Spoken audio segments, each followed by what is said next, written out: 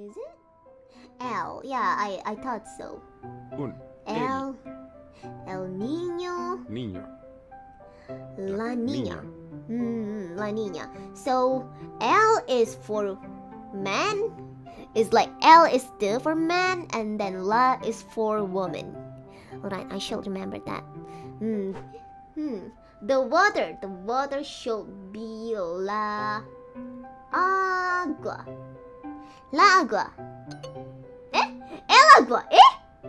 What is the difference actually? What is the difference? El agua? Eh? But I did I did get the vocabulary for water right. Hmm. This is an exception. Wait, what? Why is why is water an exception?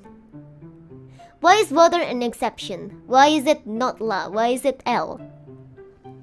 Why is it not la? Hmm. Duolingo didn't teach me about this.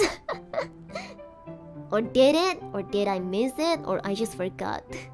Welcome to the world of Spanish. I guess I need to remember that. Hmm, I guess I need to remember it. You're a woman. Two. Oh. Mm -hmm. Rem Natsuki. Puedes decir hola cariño. Hi honey. Oh my gosh. It's hi honey but in Spanish. Hola cariño. is that is that how you do it? Hola cariño.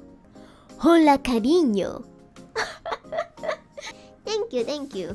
Yeah, I hope that's good enough. Mm-hmm. Subpar. Insert Spanish here. Insert Spanish here. Insert Spanish here. I wonder.